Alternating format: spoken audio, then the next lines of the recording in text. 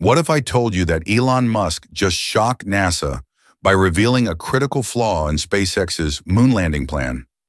With just two years until Artemis 3, Starship faces a deadly problem. How do you safely land a 400-foot rocket on the lunar surface without landing legs? While SpaceX perfected the chopstick catch system on Earth, the moon has no tower to catch Starship. This forces a dramatic design choice that could make or break humanity's return to the moon. Let's dive right in.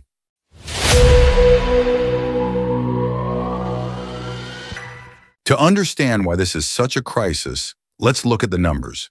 Starship weighs over 1,400 tons when fully fueled. That's equivalent to 350 cars stacked on top of each other, attempting to land gently on a surface with zero atmosphere to help slow it down. For comparison, the Apollo lunar module weighed just 15 tons. Starship is 93 times heavier. Imagine the difference between parking a bicycle versus landing a freight train with pinpoint accuracy. This weight difference isn't just a scaling problem, it's a fundamental physics challenge. The Apollo LM had four legs specifically engineered for its 15-ton mass. For Starship's 1,400 tons, those legs would need to be exponentially stronger, yet remain light enough for space travel. What makes this even more concerning is the political pressure. While NASA publicly supports SpaceX's timeline, Former NASA Administrator Jim Bridenstine recently questioned whether this ambitious goal is realistic. When former NASA leadership starts expressing doubts about their own program, that's a red flag. This brings us to something SpaceX doesn't want you to notice. New satellite imagery from their McGregor, Texas facility shows mysterious construction projects appearing almost overnight. Massive tower structures that don't match any known Starship testing equipment. What's SpaceX building in secret? Industry sources suggest these could be test rigs for lunar landing systems. But here's what's fascinating. If these towers are for testing landing legs, it means SpaceX is quietly abandoning their no legs needed philosophy. Meanwhile, back at Starbase, observers have spotted unusual components, nose cones with different configurations, airlock systems, and interior layouts that don't match the standard Starship we've been seeing.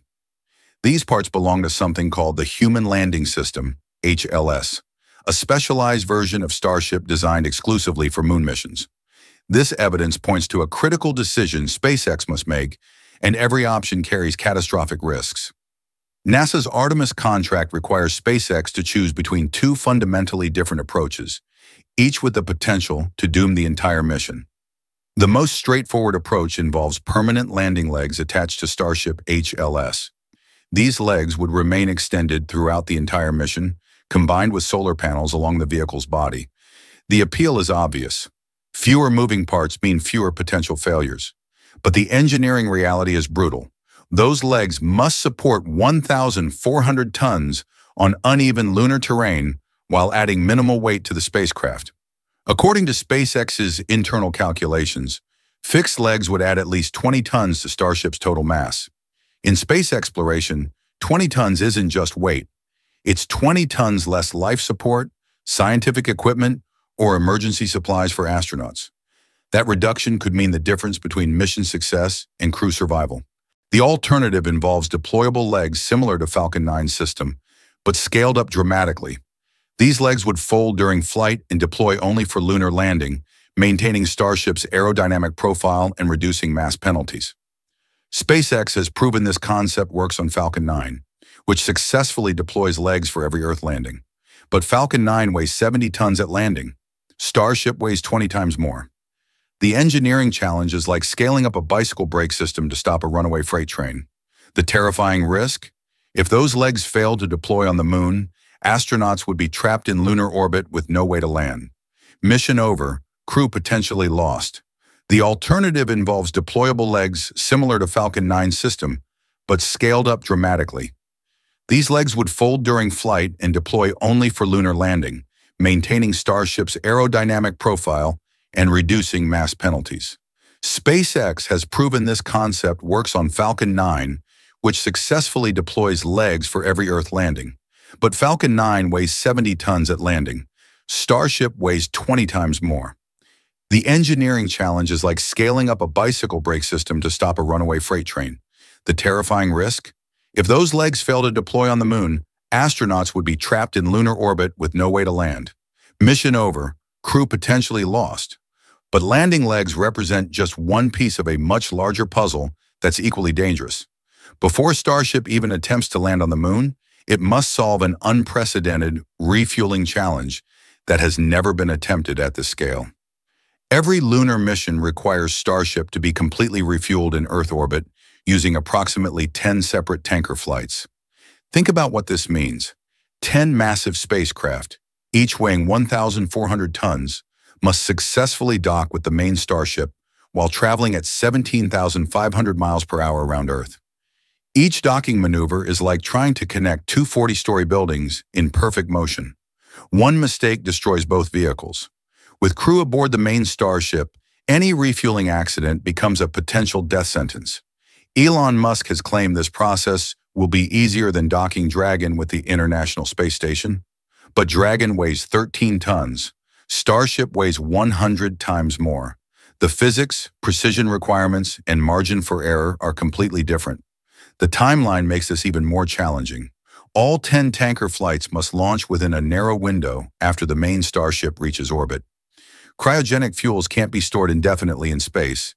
They boil off rapidly. Any delay in the tanker sequence could leave astronauts stranded.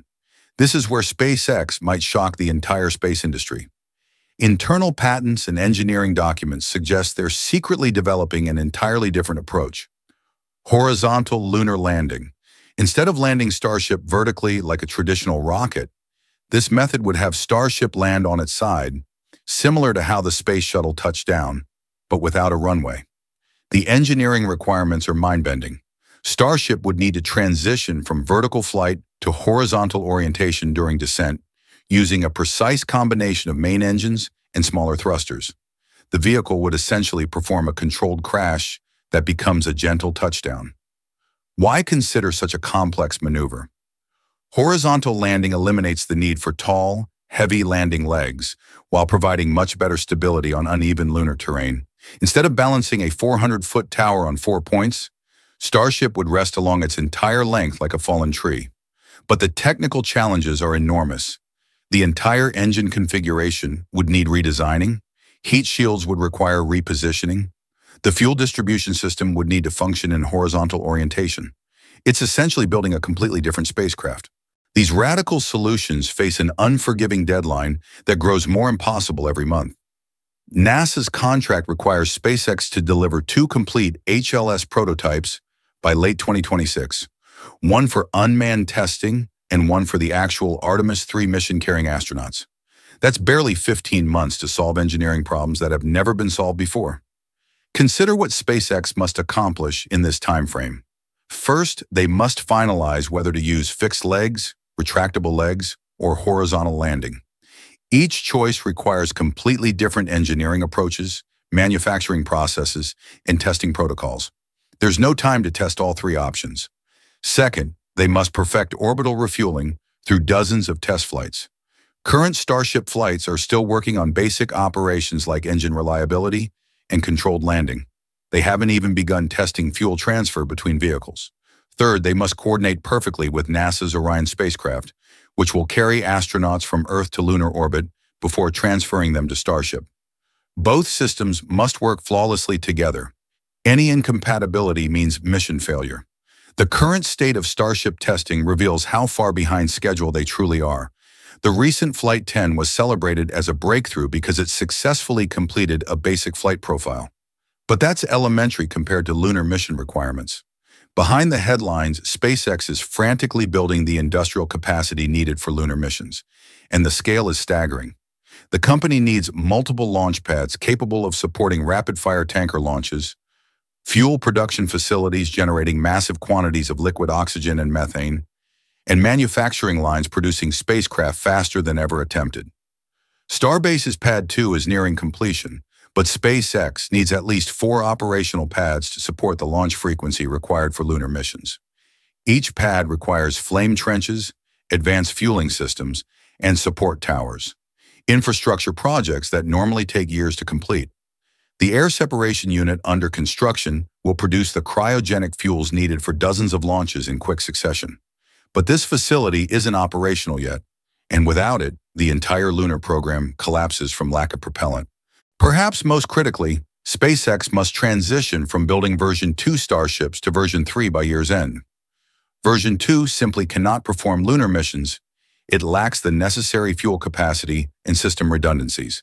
But version 4, which might be capable, won't be ready until 2027, after the Artemis deadline. This creates a narrow window where only version 3 can potentially meet NASA's requirements. If that transition fails or delays, Artemis 3 becomes impossible. The mounting technical challenges are creating a political crisis that extends far beyond SpaceX. The Artemis program has become a symbol of American technological leadership, with billions in taxpayer funding and national prestige at stake. Congressional oversight committees are already asking pointed questions about SpaceX's timeline and backup plans. Some legislators are quietly exploring alternatives that don't rely on Starship, but switching systems at this stage would delay lunar missions by at least five years, potentially giving China permanent space superiority. The political pressure is intensifying because failure carries consequences beyond delayed exploration. America's credibility in international space partnerships, defense technology leadership, and scientific innovation all depend on Artemis' success. SpaceX understands these stakes. They're not just racing against technical deadlines or Chinese competition. They're racing against political patience running out. Every month of delay increases the risk that Congress might redirect funding or NASA might choose a different contractor. Despite these overwhelming challenges, SpaceX possesses one crucial advantage that their critics consistently underestimate. They've revolutionized seemingly impossible technologies before. When SpaceX proposed landing and reusing rockets, aerospace experts declared it technically unfeasible and economically pointless. Today, Falcon 9 has successfully landed over 200 times, making SpaceX the world's most active launch provider. The Dragon spacecraft has completed dozens of flawless docking maneuvers with the International Space Station, proving SpaceX can master precision space operations. Their manufacturing capabilities have achieved production rates that traditional aerospace companies considered impossible. Gwynne Shotwell, SpaceX's president and chief operating officer, recently reaffirmed confidence in meeting the Artemis timeline. Her track record suggests this isn't empty corporate optimism. She's never publicly committed to a timeline that SpaceX ultimately failed to meet. The company's iterative testing approach, while sometimes appearing chaotic, allows rapid problem-solving and design improvements. Each Starship flight test, successful or not, provides data that accelerates development faster than traditional aerospace methods. The next 12 months will determine whether SpaceX can deliver on humanity's most ambitious space mission in over 50 years. They must reveal their final HLS design, begin full-scale prototype testing, demonstrate orbital refueling, and prove their chosen landing system works. Every month of delay makes the 2027 deadline less achievable and increases the risk that China reaches the moon first. The engineering challenges are immense. The political pressure is mounting, and the margin for error is virtually zero. But if SpaceX succeeds, they won't just return humans to the moon.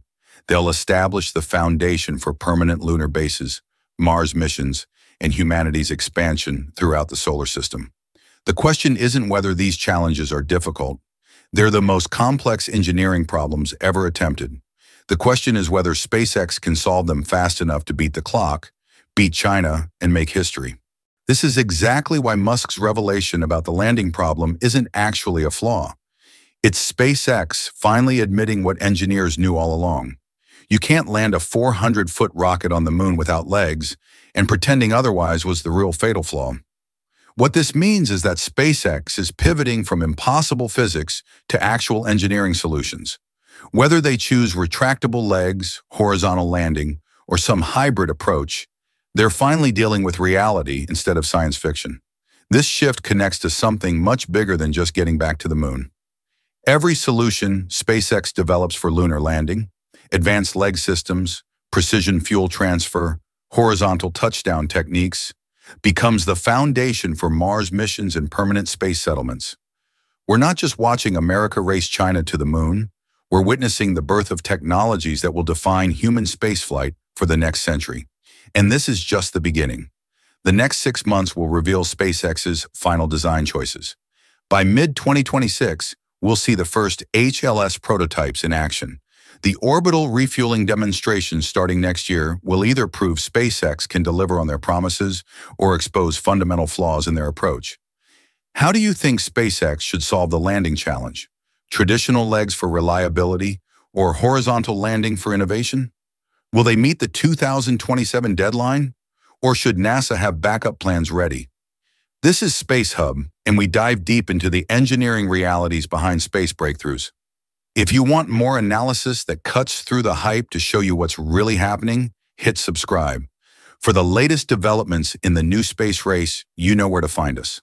The moon is just 240,000 miles away, but the engineering challenges to get there safely might as well be light years. Yet somehow that impossible distance is exactly what makes the human spirit reach further than ever before.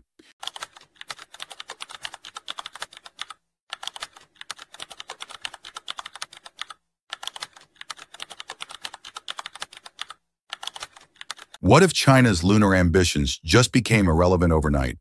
While Beijing races against time to land taikonauts on the moon, SpaceX has been secretly perfecting a cryogenic refueling breakthrough that could make every other space program obsolete. The shocking truth? SpaceX President Gwynne Shotwell isn't worried about the impossible orbital fuel transfer that experts said would take decades to master.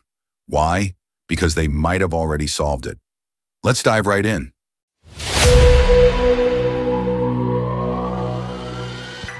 Here's what happened at the World Space Business Week conference that no one saw coming.